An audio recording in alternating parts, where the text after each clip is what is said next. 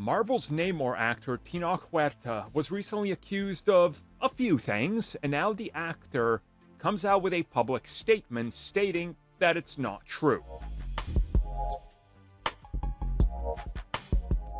So, once again, it wasn't too long ago that the actor was accused by a former woman he had relations with, who is a singer in Mexico, of uh, quite a few things. And again, I don't want to go over them. You guys can find out more. I talked about it.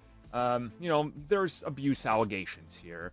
And he issued a multi paragraph statement saying that, yes, Elena and I were in a relationship. We dated for several months. Everything was consensual on both sides.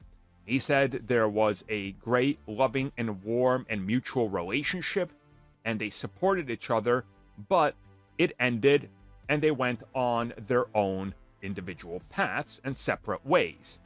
He said as a result, a couple of months ago, things started to get a little out of hand with claims that he believes she misinterpreted a couple of the things that happened during their relationship and that this could cause irreparable damage to him, his career, who he is, and that these false claims have no proof behind them and that he's willing to stand up to what he says is just complete fabrication and false misinterpretation. And he says all these allegations are untrue and that he's not a perfect human. He's made mistakes, but none of what he's been accused of falls into that.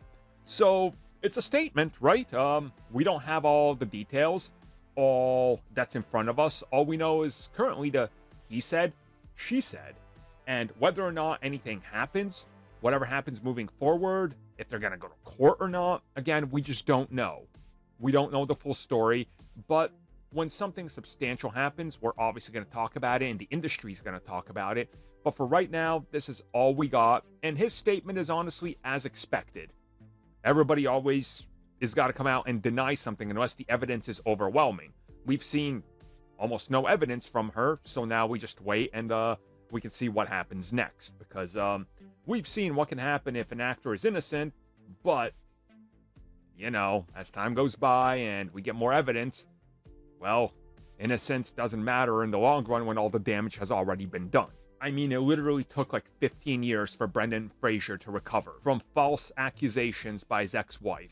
So, you know, it happens more frequent than not.